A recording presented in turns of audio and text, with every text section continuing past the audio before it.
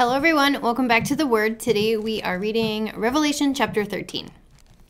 And I stood upon the sand of the sea and saw a beast rise up out of the sea, having seven heads and ten horns, and upon his horns ten crowns, and upon his heads the name of blasphemy. And the beast which I saw was like unto a leopard, and his feet were as the feet of a bear, and his mouth as the mouth of a lion. And the dragon gave him his power and his seat and great authority. And I saw one of his heads as it were wounded to death, and his deadly wound was healed. And all the world wondered after the beast.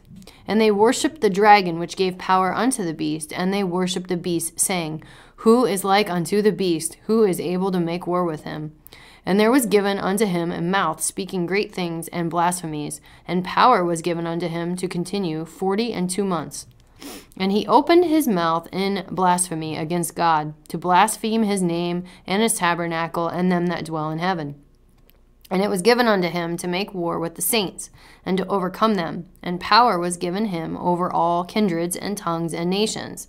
And all that dwell upon the earth shall worship him, whose names are not written in the book of life of the Lamb slain from the foundation of the world. If any man have an ear, let him hear.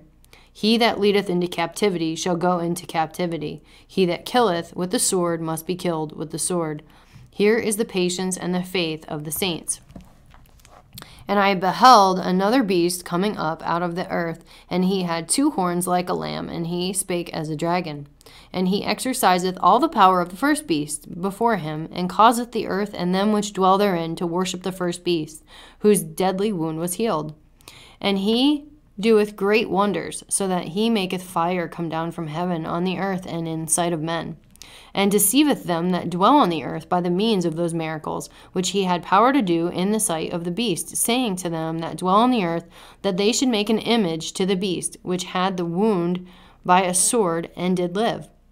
And he had power to give life unto the image of the beast, that the image of the beast should both speak and cause that as many would not worship the image of the beast should be killed.